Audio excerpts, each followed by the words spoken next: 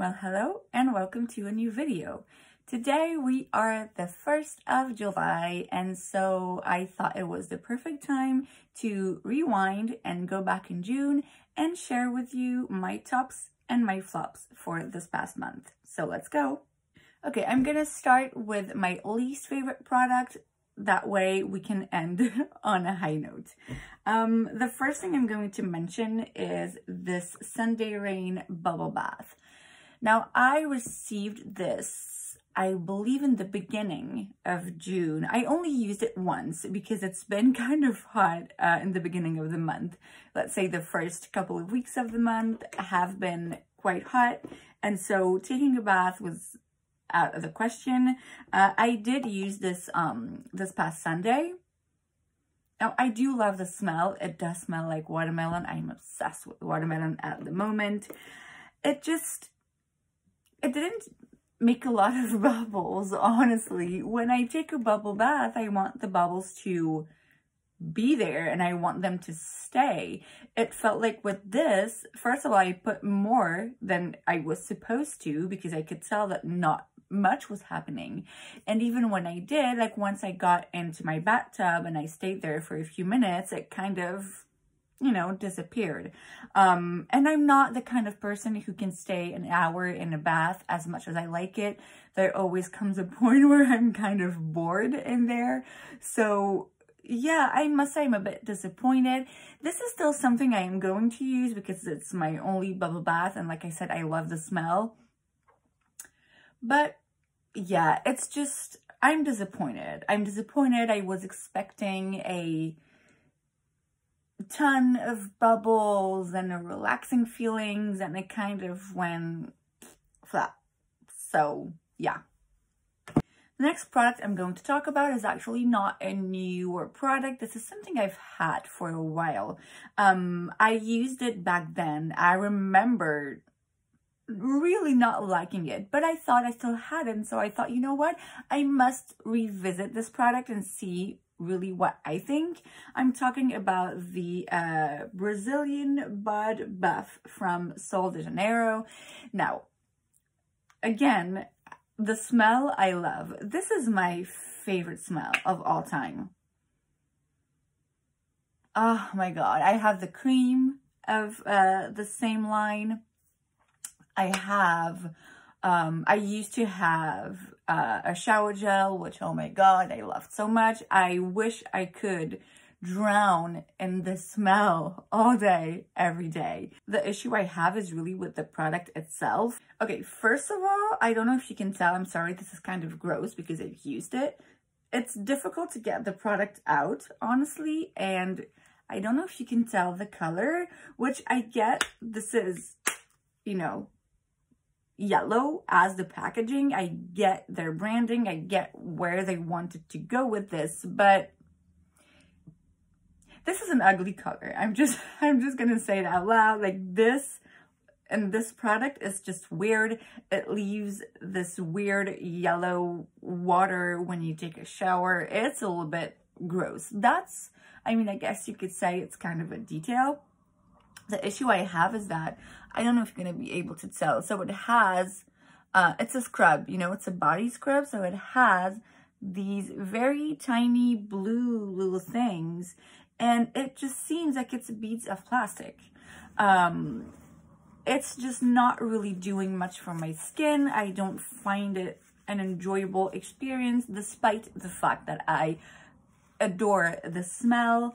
Um, it leaves, yes, like I said, this weird yellow color and those blue beads just stay in your bathtub. So yeah, this is just a product I don't like. Um, I don't like the results. I don't really see any results.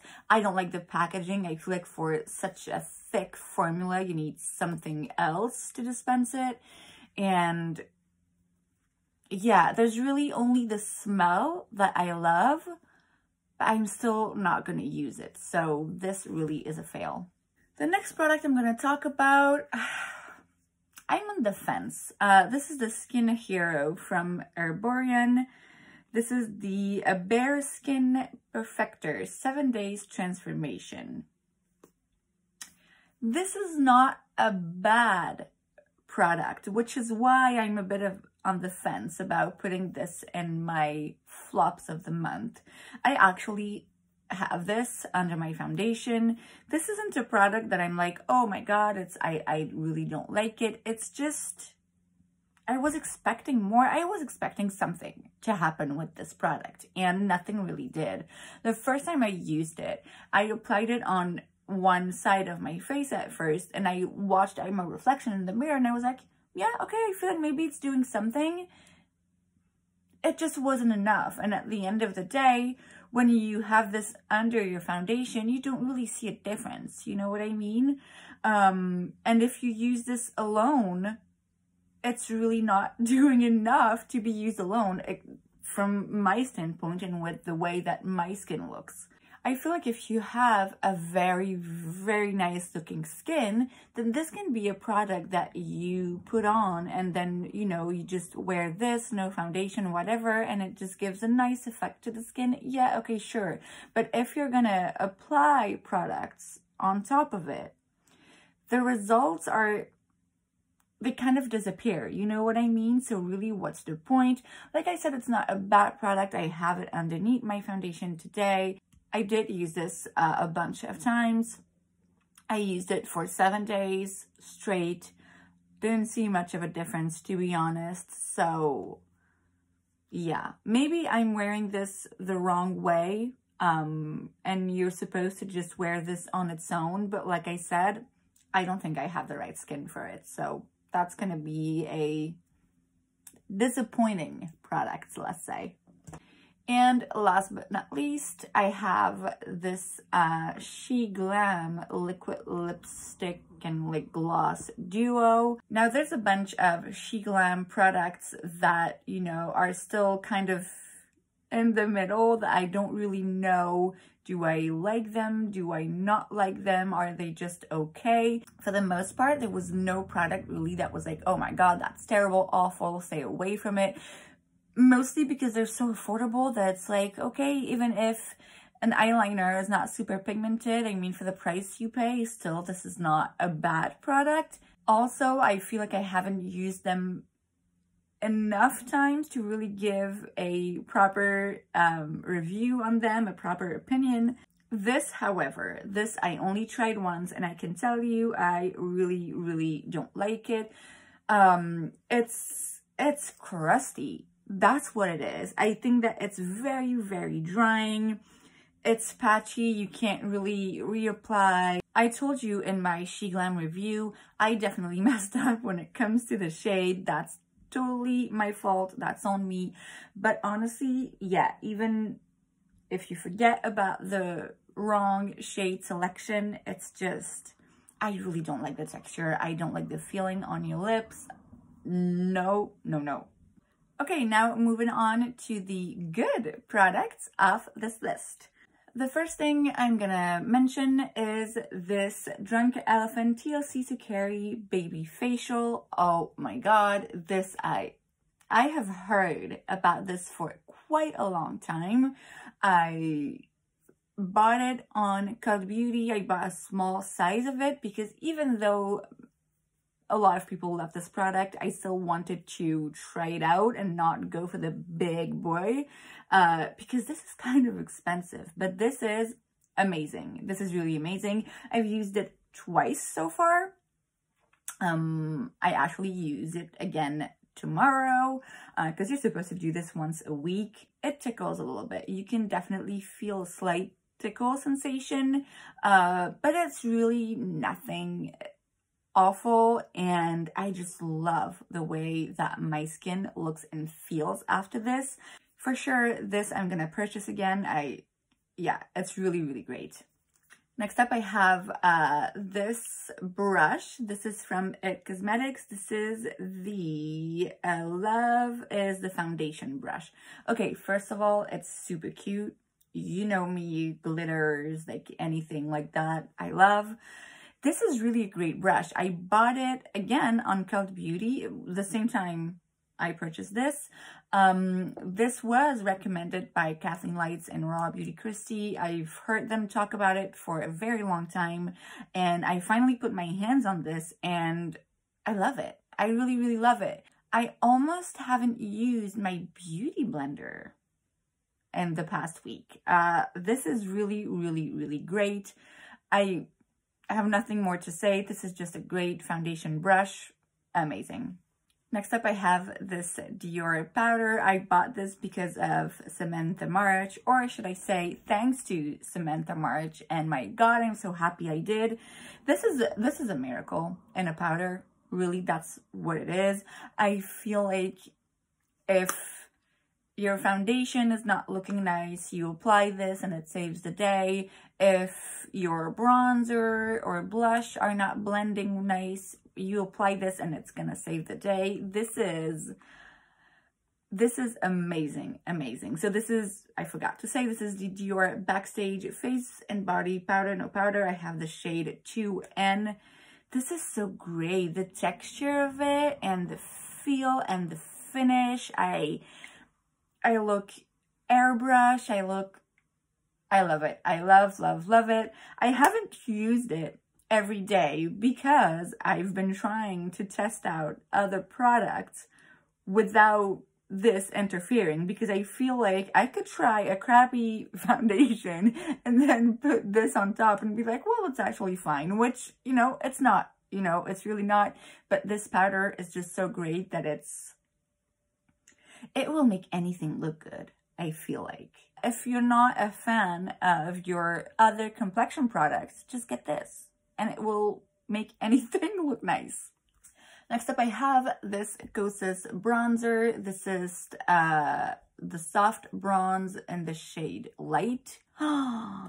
this is, oh my god, gorgeous. This is a tad too light for me at the moment because I have quite of a tan going on, but I still use it and I love, love, love it. I'm usually not into shiny bronzer.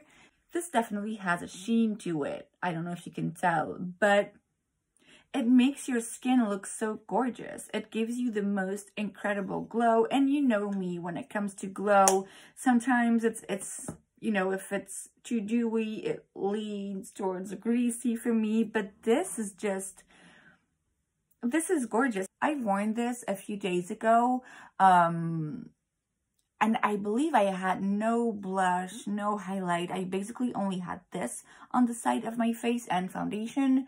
Um, and still my skin looked amazing, amazing, amazing. This I actually got at the same time that I got the um, baby facial from Drunk Elephant and the brush from It Cosmetics. So definitely that whole purchase was a win. I honestly I wish I had the medium shade to be able to use it now in a way that shows up more. I have this on my face today, but I feel like it's just, I'm not really doing it justice because I'm a bit more tan. But this product is, it's beautiful. It just looks gorgeous, gorgeous on the skin. Next up, I have this uh, brow gel from Nudestix. This is the uh, Brow Boost Plus Set Gel XL. Um, this again was recommended by Kathleen Lights, um, and I do like it. I still do uh, my uh, hair gel technique. I'm, I actually filmed a video doing it um, that will most likely be uploaded next week, I believe. So stay tuned for that. Um, but I feel like this is a great alternative for when I don't want to spend too much time uh, fixing my eyebrows. Um, I do talk about it in that other video that you'll see next week. But when I do my eyebrows using my um, hair gel, I have to do them first and it's definitely a bit more challenging to then apply foundation, although it's not that big of a deal. Um, but yeah, so this, I feel like it's a great way to just quickly, you know, go through your brows and fix them. It's not gonna have the same super strong hold because that hair gel is like a super glue. Um, but it really does hold the brows. It really is great. And the brush, you can tell, is very small, so it's super practical. It's really, it's better than my um, ABH, which is a product I've loved for a long time. But this is definitely um, an amazing brow gel. Next up, I have this um, Sky High mascara from Maybelline. This has been going around on TikTok and whatnot for quite a long time. Um, I saw it at my supermarket, so I was like, fine, I'm to grab it. Uh, it really is great. I have it, I have false lashes, so you can't really tell, but I've worn it in my last few videos, and it really, really is amazing. At first, I was a bit skeptical, mostly because of the brush. It's flexible, which is not something I love because I feel like I don't have a lot of control. And also it is small silicone bristles, which again, not my favorite kind. But this really is amazing at lengthening your lashes, curling them, volumizing them, and it really separates them. It's just, it's amazing. It's a really, really, really good mascara from the drugstore. Uh, I then have this eyeshadow palette. This probably comes as no surprise because I've been raving about this palette, um, especially in the beginning of the month where I did a couple of looks with it. Um, I really like it. Uh, I feel like it's a great palette to have. These colors are just exactly my kind of mood. I do have it on today as well. Um, I used the pink, the coral, and the green. I'm a bit worried because pressed pigment, uh, especially when they're pink or red, can stain your eyelids. So maybe this look is gonna stay here for a couple of days, but it's fine. Um, I really, really, really love these colors. Honestly, I love the fact that there's a bunch of neutrals in there as well. I just really feel inspired when I look at it. I want to mix and match and I want to blend together all the shades and it's just it's really really a beautiful palette and definitely definitely glad that I discovered this brand. And finally, I have the um, long-lasting liquid lipstick from Ofra. This is uh, a mini version I have for these. Um, they were in a set. Uh, these are the two colors I'm wearing today. I have Bel Air and Sanibel, and it's really great. Um, I had heard about their uh, liquid lipstick formula for a while. Um, apparently, they were really amazing. And honestly, they are. They're not drying. They last a long time yeah, it's just a good liquid lipstick. And I know that right now a lot of people are into glosses and I actually have a gloss on top of this, but a liquid lipstick, I feel like it's always a good option, especially if you wear a mask. Um, and you know, if you want things to stay put on your lips. So yeah, I'm glad to report that indeed the uh, Ofra liquid lipstick formula is really, really good. So that is it for today's video. I hope you enjoyed it. If you did, make sure to give this video a thumbs up. You can also subscribe to my channel because it's free, so why wouldn't you? And I will see you guys next time. Bye.